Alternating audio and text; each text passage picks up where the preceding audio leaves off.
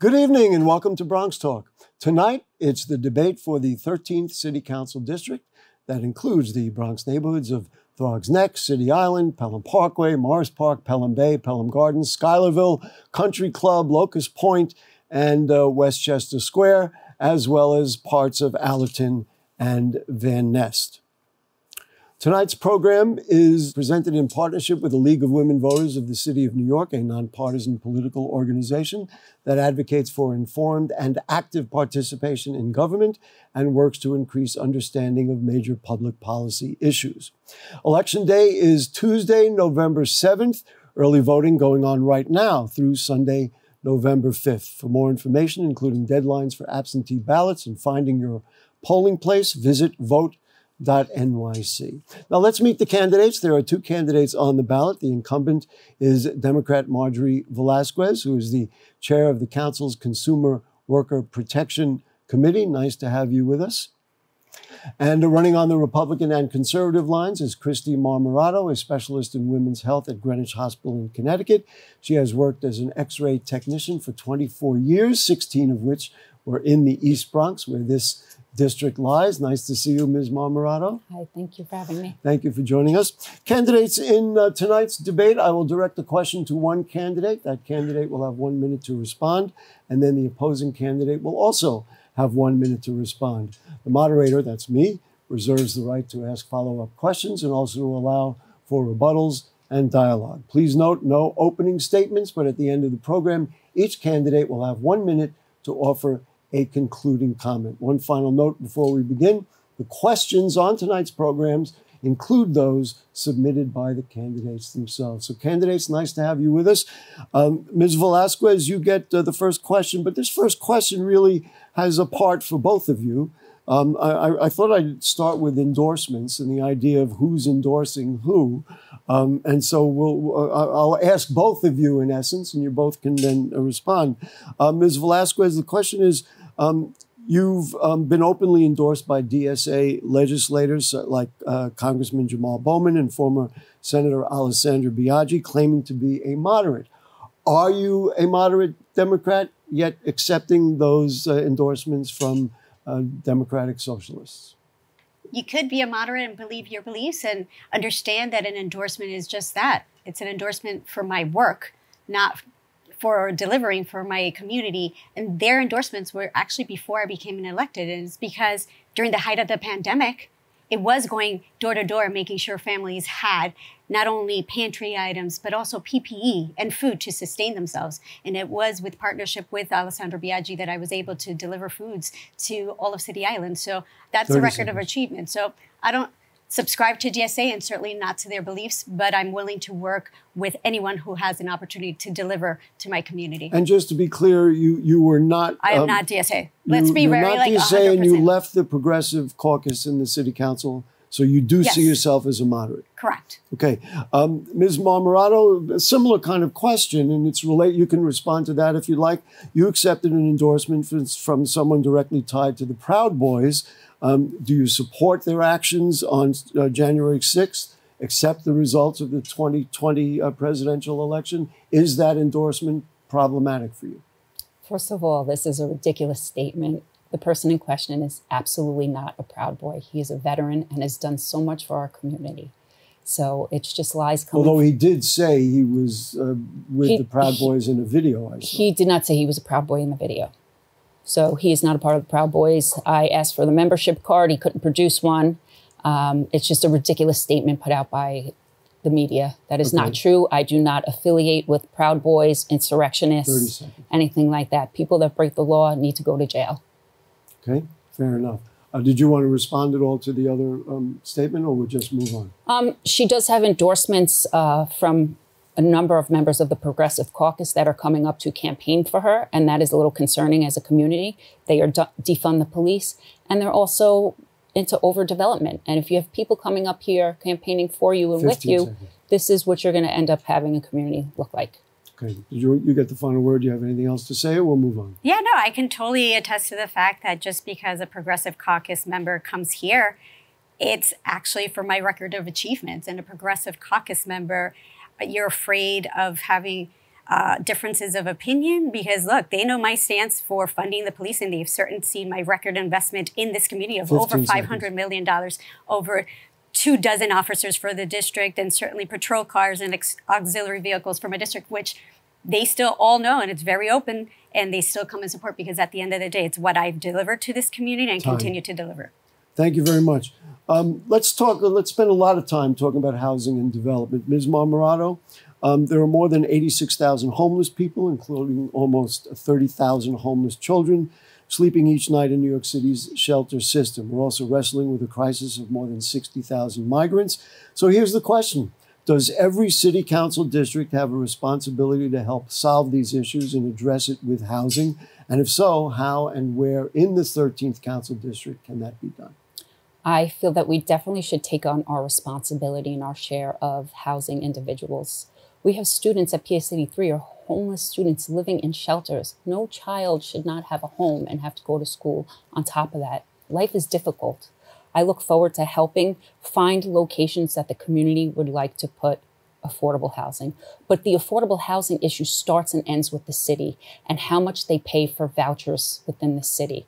They, people are becoming too dependent. 30 the, seconds. The middle class is going to end up leaving the community because they cannot afford these apartment rates that the city is putting out. They need to start lowering their rates or everybody's going to be completely dependent on the city for housing and it's going to turn into a socialist society. So at the moment, you, you're not sure of where you might recommend that there be. You um, would like specific locations? Whatever your well, thoughts we're going to have a ton of housing coming to Morris Park when this Metro North station is going to be built. So there's a whole strip of buildings that can be made right over in that area. Available. Okay. Um, Ms. Velázquez, your thought? Certainly, uh, I have and I continue to advocate for housing within our community. But let's be real, it has to be for us by us. And when uh, development, and let's be frank and honest about the Bruckner development, when it came into the district and how it was presented, it wasn't for our community. And that's why I stood firm to deliver what the community was asking for. So it is 100 units for seniors with wraparound services and security. It is 25 units dedicated to our veterans. It is affordable housing ownership. That's right. Our district deserves to have housing ownership for opportunities to create generational wealth. And I fought for that and will continue to fight for housing that is for our community and made by seconds. us through union. We've asked you about this uh, on the program before, but I, I, know it's an issue in this campaign, so we'll, we'll uh, restate it. Let's talk about that Bruckner rezoning. You reversed course you eventually supported it at the 11th hour. Is there a trust issue there that people say, well, wait a minute, she says she's against this or she's for this, but then she changed her mind at the last minute?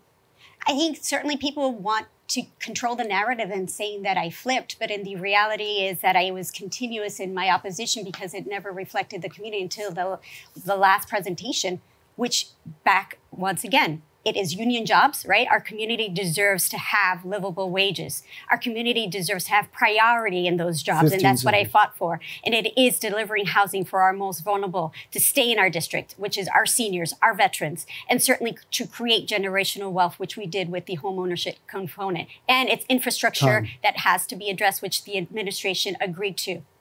Um, Ms. Marmorato, I'm sure you have something you want to say about that issue. You still lied. You still lied to the community. You, I have, still have not met one person in this district that wanted the Bruckner upzoning other than you and the mayor.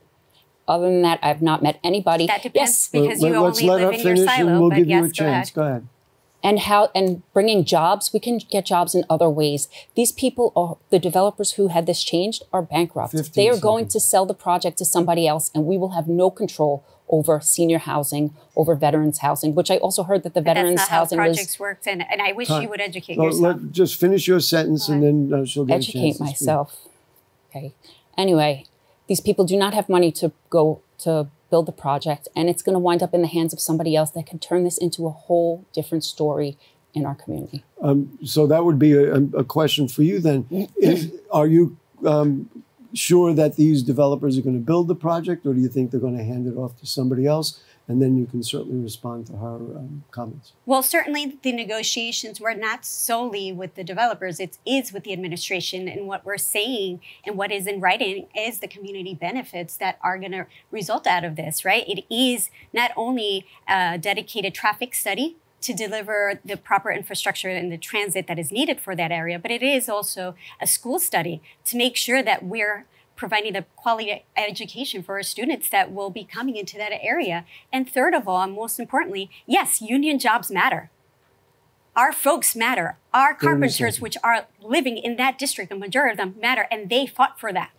So let's not discuss and dismiss the various voices that call me every day, like seniors asking for housing and thanking me for that. 15. Let's not dismiss the voices of black and brown in my community who have been asking for homeownership opportunities. Let's not dismiss those voices because that's what's happened time and time again uh, before me. And guess what? I'm here to recognize those voices, whether you want to see them and hear them or not. Time.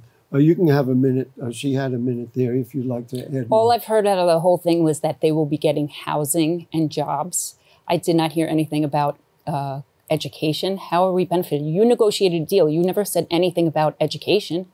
And traffic studies, what do you, there, have you been there since on three o'clock on a school day? Do you know what the traffic is like? There are triple parked cars.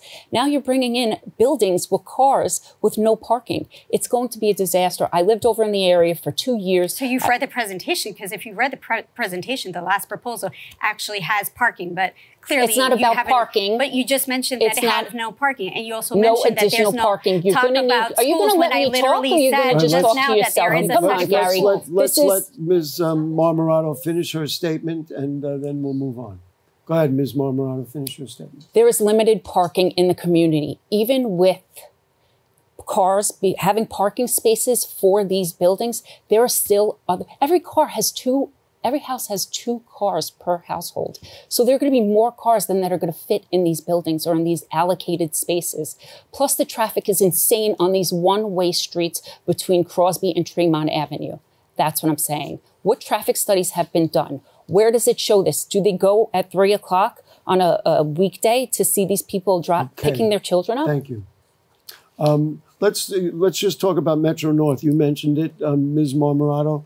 Uh, four Metro North stations are coming, uh, in addition to the expanded commuter options. Uh, what should be done to maximize the benefit to the community? There needs to be a lot to be done to maximize the benefits to the community. We are losing a lot of parking again as well. And I know the whole purpose of bringing the train station is, is so we can reduce cars. But as of right now, we are fully reliant on automobiles, the people that work at the hospital, the people that live in the community. It's going to take a time before it gets there. We need to allocate municipal parking lots. We need to figure out a place where these individuals are going to go, especially with the upzoning plans. 30 seconds. They're going to remove two of the parking lots within the Joe campus. I already cannot park on my street during the day, during the week, when these people are parking all along my, my block and in my neighborhood. Okay. okay thank you. Um, Ms. Velázquez, you have 30 seconds. What was the question again? Uh, the question is what benefits uh, do we need to, uh, what do we need to do to maximize the benefits for the community with the Metro North stations coming? So certainly, uh, what I facilitated within the community are various Zoom calls uh, and in-person meetings. There are two different stations. It's not just Morris Park. There is a Parkchester Ness station as well, and it is uh, working with my other electeds um, delivering seconds. community centers, delivering schools, delivering proper infrastructure, uh, delivering um, actually converting Morris Park Station into the life science uh, hub that it deserves to be and delivering quality healthcare for a community Time. that has been experiencing so much disinvestment. Ms. Marmorato, you get the final word on this. I also don't understand if there are four train stations, why is it that the two within our district are the only ones that are going to be allocated 3,000 apartments? At each station? Why isn't it not spread out through the four? Okay, thank you very much. Um, Ms. Velázquez, um, let's move ahead to a different type of development.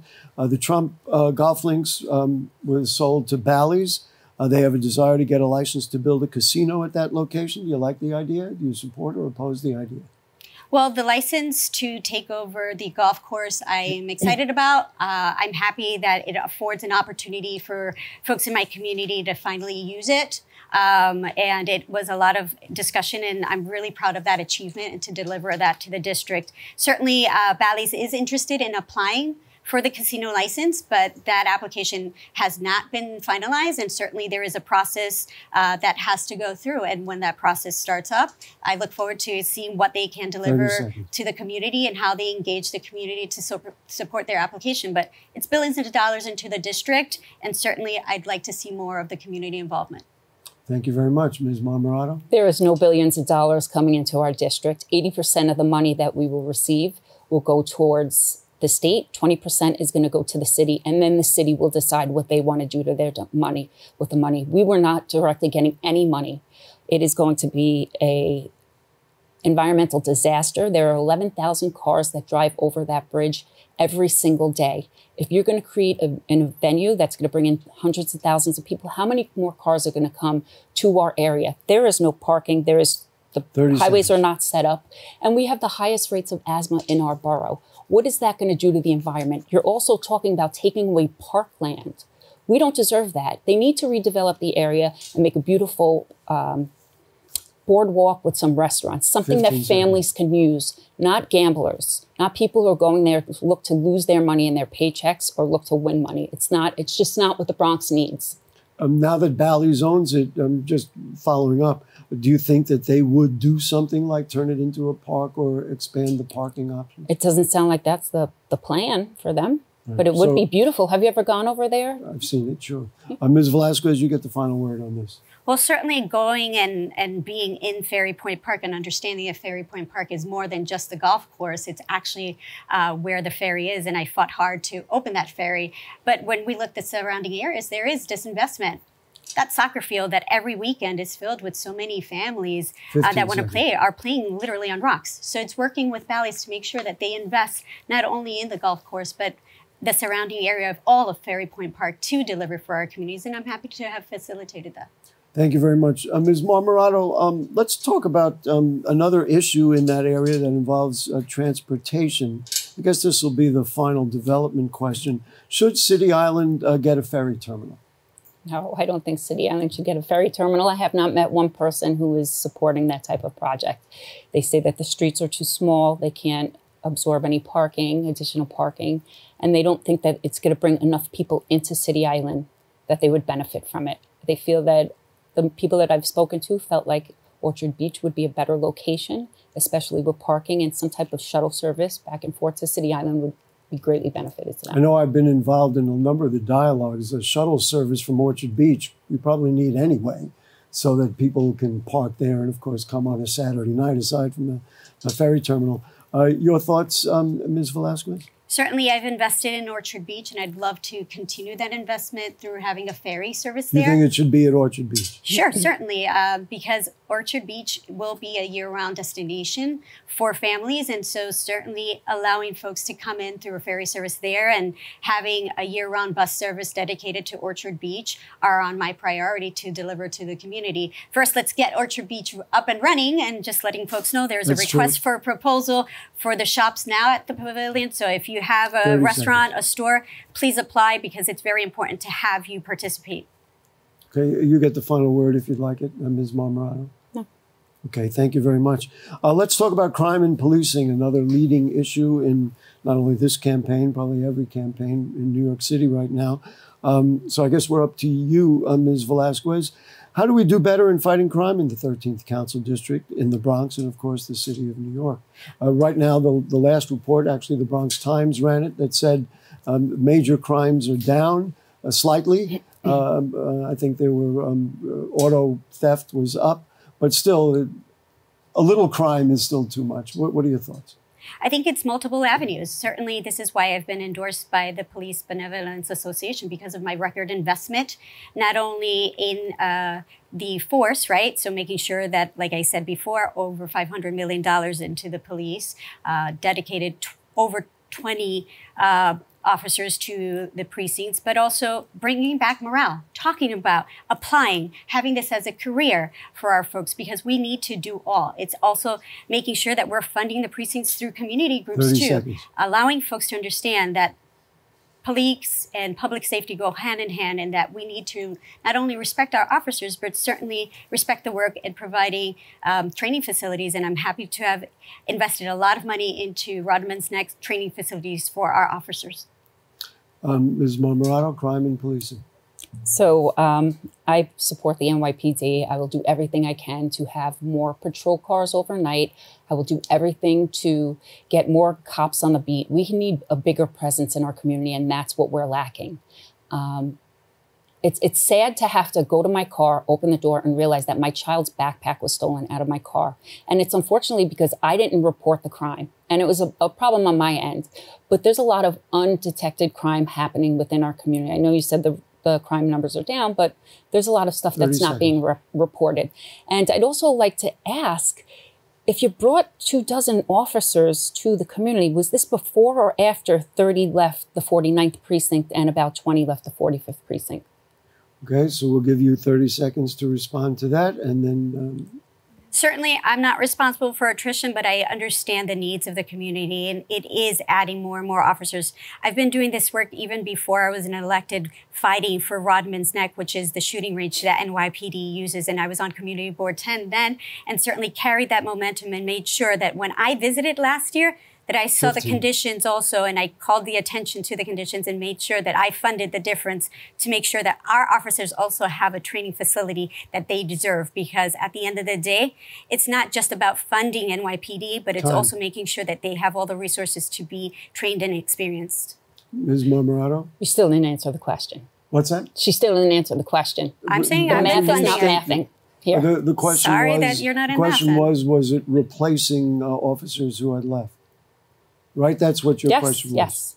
I have been uh, fulfilling and asking for officers even before then. So that's it. I mean, what else do you want me to say? Thank you. Uh, the um, uh, let's get to uh, you know what? Let's do this. Um, let's just extend the uh, question about crime. We'll give you each 30 seconds and talk about bail reform. Advocates say that people released on bail are returning to court at high rates, and there's no evidence that it's contributed to an increase in crime. But there's a lot of concern in the community that it's uh, allowing um, crime to um, perpetuate, so to speak. Uh, Ms. Marmorato, you can go first. We'll give you each 30 seconds to do Yeah, it. there's no accountability in the city. Uh, nobody, people are committing crimes, getting out, and com- committing more crimes. And we don't deserve to live in a city like this. For example, my office, there was a violent crime at my office where somebody threw a garbage can right through the front window. And he was not, he was arrested, but he was released. And 15 I, in order to have him be accountable because he has mental issues or he has some type of challenges in life, they're looking to set him free. And if I don't push a felony on him, which it was over $500, so it would end up Time. being a felony, he, he's going to be set free and won't be able to get the services that he deserves and needs to have. And we need Um, to fight it. Ms. Velázquez? Certainly, I would like to remind everyone that bail reform is a state issue.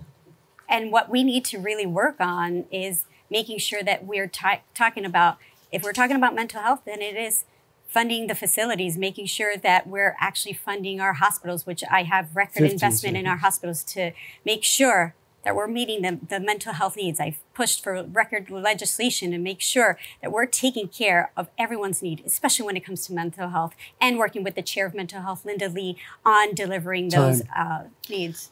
Let's just uh, let you each uh, answer this question. We're almost out of time. Um, Ms. Velázquez, plans are being finalized for the city's congestion pricing plan. Are you in favor of the concept of charging drivers below 60th Street in Manhattan, and using the funds for mass transit?